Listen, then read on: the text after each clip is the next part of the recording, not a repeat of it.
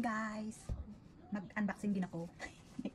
Dumating na yung order ko sa oh, Amazon, ang KitchenAid. Ano siya, grinder. Na i-connect doon sa, I'll connect into my KitchenAid oh, mixer. Ito ay pwedeng, ano, it can be used for grinding beans, grinding rice flour, coffee, and kinds of grains. So we will see. So, oh, hirap na siya. Mahirap din siyang bunutin. Okay. Mahirap din siyang bunutin. Alright, here.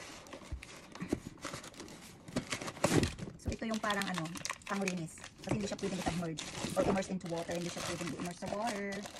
So, tingnan natin. Oh, ayan. Grinder.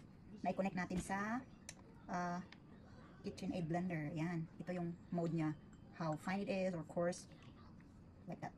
Electric grinder. So, i-attach natin dito sa KitchenAid natin. And then we have to tighten up. Alright. It's ready. So mag-grind tayo ng uh, rice. This is a regular rice, uh, jasmine rice. So we're gonna pour it here. Okay. We're gonna pour it here. Oop. And tapos grind natin siya. So. Oh.